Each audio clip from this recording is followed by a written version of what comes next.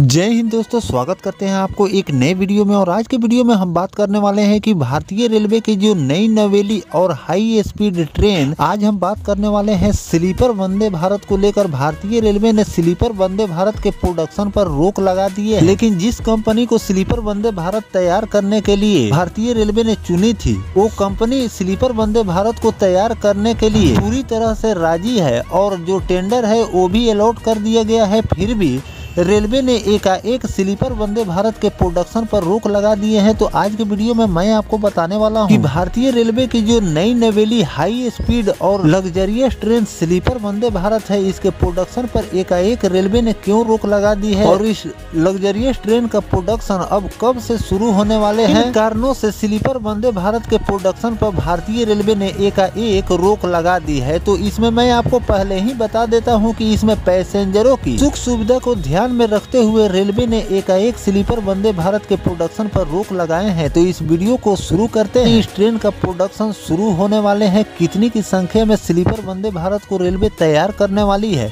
और जो पहला स्लीपर वंदे भारत तैयार हो चुका है, उसकी लॉन्चिंग आपको कब तक देखने को मिलने वाली है? फुल डिटेल जानकारी मैं आपको दूँगा। तो दोस्तों, अगर आप चैनल पर नए हैं तो चैनल को सब्सक्राइब कर लीजिए। वीडियो अच्छा लगे तो वीडियो को लाइक ज़रूर कर दीजिएगा। चलिए इस डिटेल वीडियो को शुरू करते हैं। भारतीय रेलवे ने पाँच साल पहले वंदे भारत ट्रेन लॉन्च की थी जिसके ज़रिए यात्रियों को कम समय में अपने गंतव्य तक पहुँचना लक्ष्य तय किया और कदम आगे बढ़ते हुए वंदे भारत ट्रेन के स्लीपर वर्जन को लॉन्च किए जाना। माना जा रहा है कि अगले साल स्लीपर वंदे भारत चलनी साल स्लीपर वंदे भारत चलना शुरू हो जाएगी। हालाँकि इससे पहले अब एक और झटका लगा है। दरअसल स्लीपर ट्रेन की डिज़ाइन अब तक पूरी तरह से फाइनल नहीं हो चुकी है। चाहता है कि ट्रेन में ज़्यादा टॉयलेट, लागेज, जोन और हर ट्रेनों में पेंट्री कार हो ताकि लोगों की ज़रूरत को पूरा किया जा सके।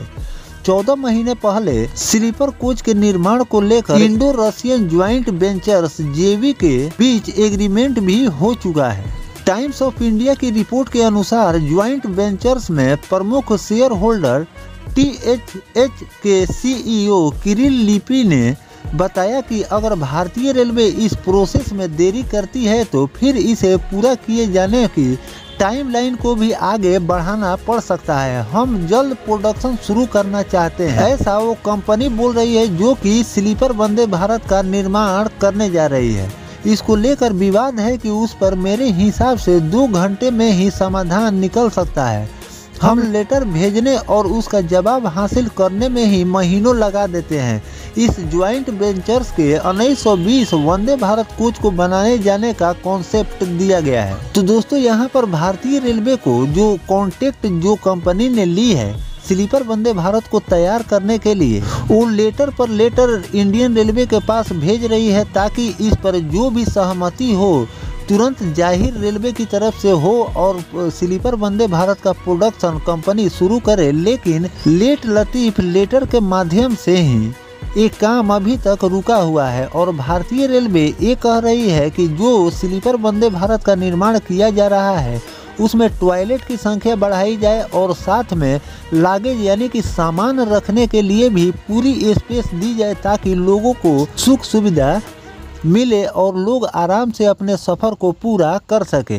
तो अच्छा कदम है भारतीय रेलवे की कि जो कि पैसेंजरों की से प्रोडक्शन और निर्माण कार्य में अटकलें रेलवे लगा रही है ताकि आने वाले दिनों में किसी भी प्रकार की कोई पैसेंजर को दिक्कत न हो। इसीलिए ये अटकलें अभी लगी हुई है। लिपि ने बताया कि मई तक उन्हें उम्मीद है कि साल के आखिरी तक ट्रेन का पहला प्रोटोटाइप तैयार हो जाएगा, लेकिन भारतीय रेलवे ने कोच के डिज़ाइन को लेकर कई बदलाव की मांग कर दी है। इसके बाद उस पर फिर से काम किया जाएगा। उन्होंने कहा कि जो बदलाव की मांग की गई है, उसको पूरा करने के लिए समय और अतिरिक्त बजट की ज़रूरत होगी। अब उम्मीद जताई जा रही है कि अगले साल के सेकेंड क्वार्टर तक प्रोटोटाइप को तैयार कर लिया जाएगा, क्योंकि कॉन्ट्रैक्ट के हिसाब से 2025 के आखिरी तक इसे पूरा करना है। यहाँ पर दोस्तों, भारतीय रेलवे जो जो भी इमेज दिया गया था, उसमें भारतीय रेलवे कई प्रकार के बदलाव अब स्लीपर वंदे भारत में करने के लिए कंपनी को बोल रही है, जिससे कंपनी अब और भी ज़्यादा पैसा और समय की डिमांड कर रही है कि जो आप इस ट्रेन में बदलाव करना चाहते हैं, इसके लिए अब हमको और और भी समय और कुछ और पैसों की आवश्यकता पड़ेगी। और इसी पर बात अभी अटकी हुई है और रेलवे की तरफ़ से किसी भी प्रकार की कोई लेटर कंपनी को नहीं दी जा रही है। इसीलिए स्लीपर वंदे भारत का प्रोडक्शन अभी तक रुका हुआ है। टीएमएच के प्रवक्ता ने बताया कि पहले हर कोच में तीन टॉयलेट की मांग की गई थी, लेकिन अब चार टॉयलेट बनाने के लिए बोला जा रहा है और हर ट्रेन में एक पेंट्री कार भी होना अनिवार्य है। पहले कॉन्ट्रैक्ट में नहीं, ट्रेन का निर्माण करने के लिए रेलवे ने बताया था। अब उसे कुछ अलग हट के फिर से उसे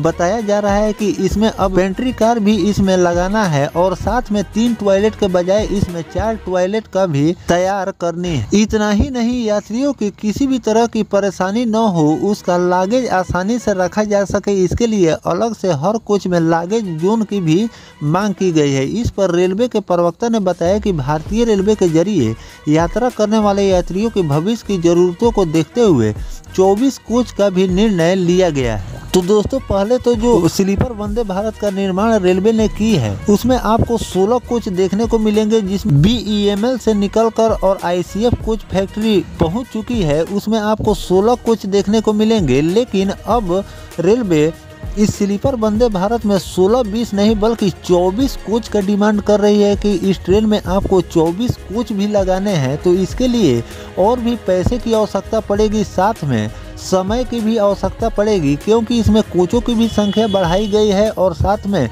पेंट्री कार इसमें अटैच करने हैं।